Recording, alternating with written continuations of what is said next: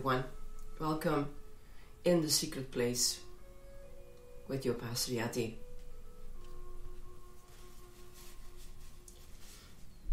I hope all is well with all of you. And it's Friday, close to the weekend. I hope that you find in this weekend new things to do, something that maybe it's a long time you did it, or really something new that pops up in your weekend. So may it be creative. We are in Psalm 9, and the key verse of this psalm is I will give thanks to the Lord with all my heart. I will tell of all your wonders. I will be glad and exult in you. I will sing praise to your name, O Most High. Verse 1 and 2 in Psalm 9. God will judge the nations.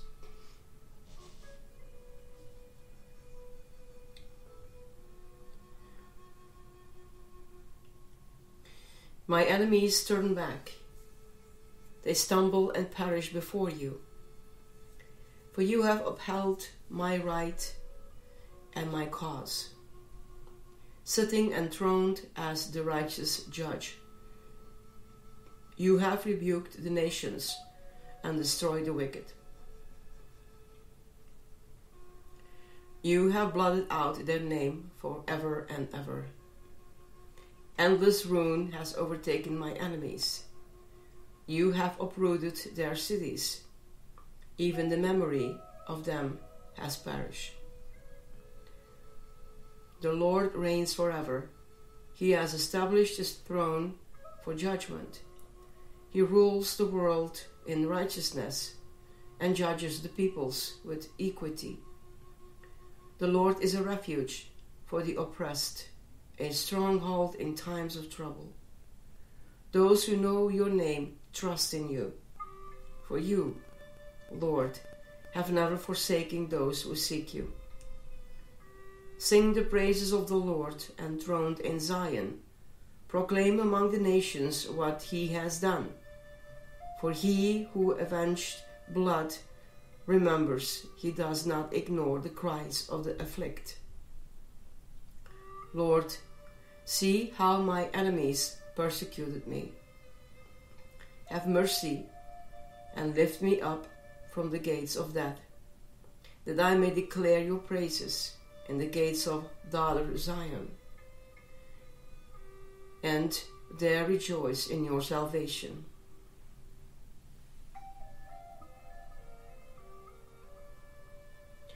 The nations have fallen into the pit they have dug. Their facts are caught in the net they have hidden. The Lord is known by his acts of justice. The wicked are ensnared by the work of thy hands.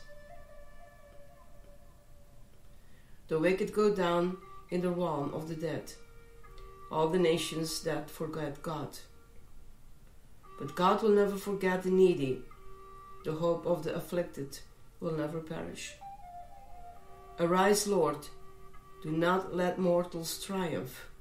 Let the nations be judged in your presence. Strike them with terror, Lord. Let the nations know they are only mortal.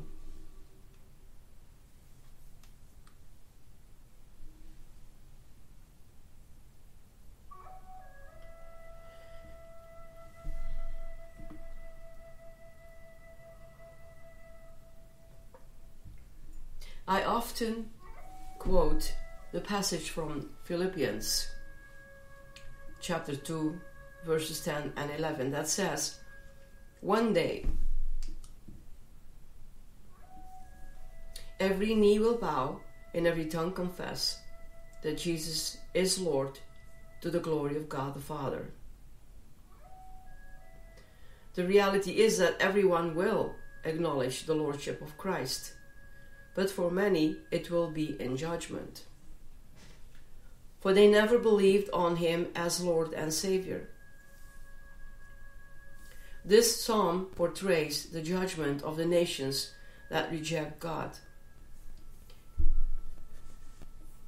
It is written as a reflection on the enemies who had already been defeated and peoples who had been subdued in David's reign. But it is also a prophetic passage reflecting the sovereignty of God in judging the nations. God has not relinquished his throne, no matter how strongly world events spin out of control in chaos. And totalitarian authorities subject believers to persecution. Those who reject God and stand in opposition to Him will stumble and perish. They will be turned back. God will rebuke the nations, destroy the wicked, and blot out their name. Their city will be uprooted. They will come to an end in perpetual ruin, and even the memory of them will perish. This is because God sits on his throne and will judge righteously. He is everlasting abides forever and will execute judgment for the peoples with equity. And the standard of equity by which all will be judged will be their relationship to Christ. Romans 2:16 refers to the day when according to my gospel God will judge the secrets of man through Christ Jesus. So the nations will be snared in their own trap of sin. Rather than yielding in submission to God, they will be caught in the pit they have made to punish and subdue others, that of exalting their own supposed power and authority. They are nothing but men, and the Lord will prevail. But for us who believe and follow God, He is our stronghold the image of a massive, impenetrable fortress comes to mind. Though we may feel oppressed and go through times of trouble, we know the Lord. We can call upon His name as one we know intimately, and He will not forsake us.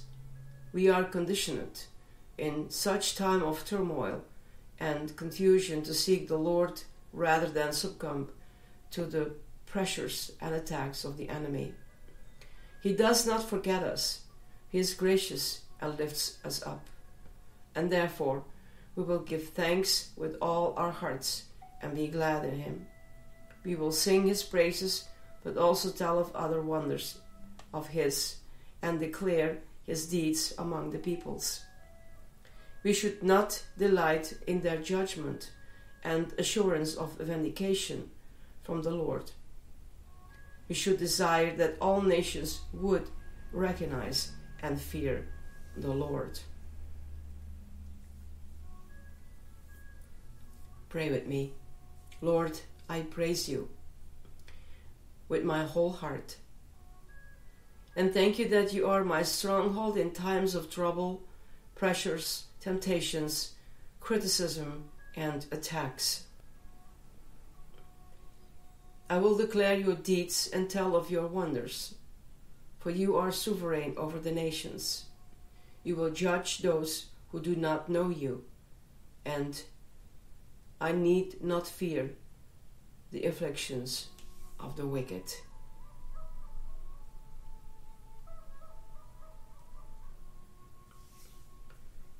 God will judge the nations my dear sisters and brothers, you and I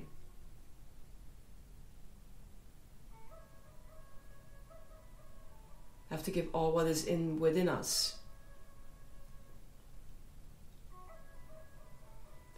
to worship the Lord in words and in deeds. And that the world may see that He is God and reigns in all his authority because he is our creator. Take this with you and ponder on it. God bless you.